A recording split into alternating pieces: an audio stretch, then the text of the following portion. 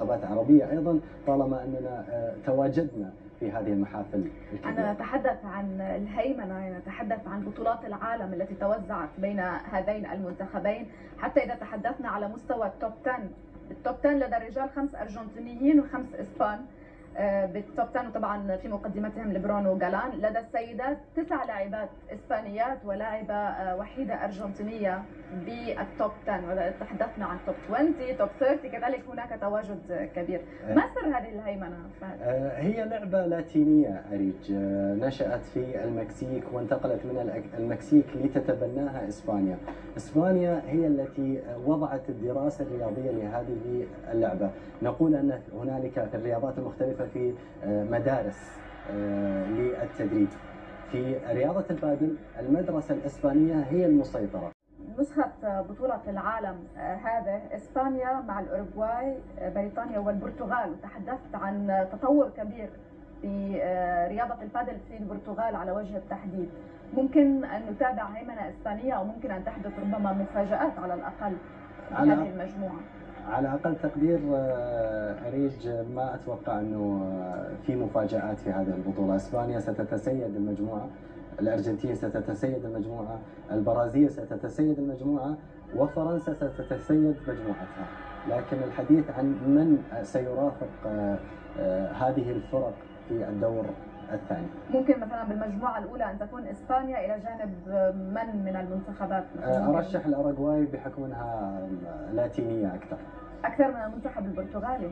البرتغال آه، في البطولة الأوروبية للناشئين كانوا هم المسيطرين لكن على مستوى الكبار بعيدين. المنتخب الفرنسي هو أن تمثلين الوطن حدث كبير تاريخيا لشخصك.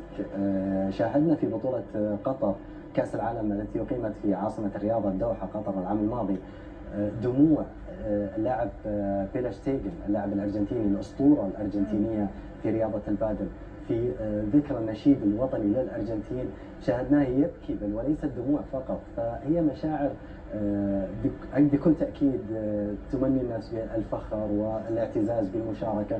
أيضا أنا قريب جدا من اللاعبين العرب في الأخيرة أشاهد مدى اهتمام الشارع الرياضي الخليجي للاعبينا ومنتخبنا القطري والمنتخب الاماراتي. آه، جروبات في الواتساب اريج آه، في الحديث عن آه، المؤازرة والحديث عن التشجيع آه، من من من الأمس وهم يتكلمون عن المشاركة. صحيح. بكل تأكيد كل لاعب له ال- الفخر في رائعة جدا. محمد سعدون الكواري الزميل وليس اللاعب. هو في التصنيف 130 تقريبا على العالم. تطور مست- كبير في التصنيف آه، وفنيا أيضا. آه، أسماء عديدة عبد العزيز الكواري شقيق محمد وخالد سعدون أيضا. آه، جبر المطوع محمد الخنجي محمد عبد الله.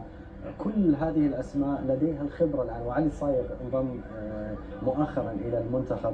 كل هذه الأسماء كسرت حاجز الخوف في المشاركة الأولى أن تلعب أمام هذه الأسماء الكبيرة آه، في ارضك وبين هذه الجماهير وهذه التغطية الإعلامية. بكل تأكيد ستكون الخبرة أكبر في هذه المشاركة. أكيد.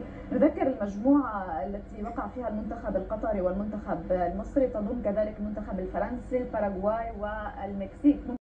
ورقيا آه، اريج بكل واقعية لا أتوقع لكن نمني النفس أن يكون أحد المنتخبين يظهر بصورة مشرفة وعلى أقل تقدير ينافس على المقعد الثاني بالتأهل من المجموعه. المنتخب الأصعب ربما بهذه المجموعة فرنسا. المنتخب الفرنسي المنتخب هو. المرشح أن هو يمر. المرشح الأكثر للتأهل برقم واحد عن المجموعة.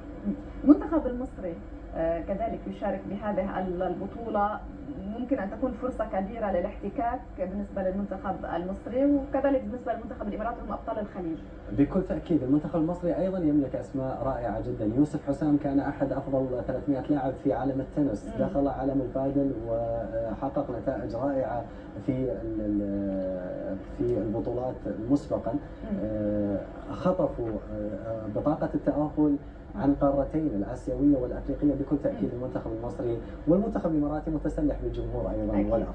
الأرجنتين والأوروغواي بمنافسات السيدات المجموعة الثانية البرازيل والإمارات بمنافسات الرجال المجموعة الثالثة. ليس قبل الساعة السادسة بتوقيت مكة المكرمة. بالنسبة للملعب ملعب رقم ثلاثة قطر ستواجه الباراغواي بمنافسات الرجال في المجموعة الرابعة إسبانيا والأوروغواي بمنافسات الرجال المجموعة الأولى. كذلك ليس قبل الساعة السادسة.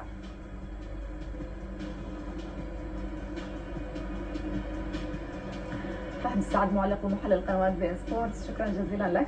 شكرا لك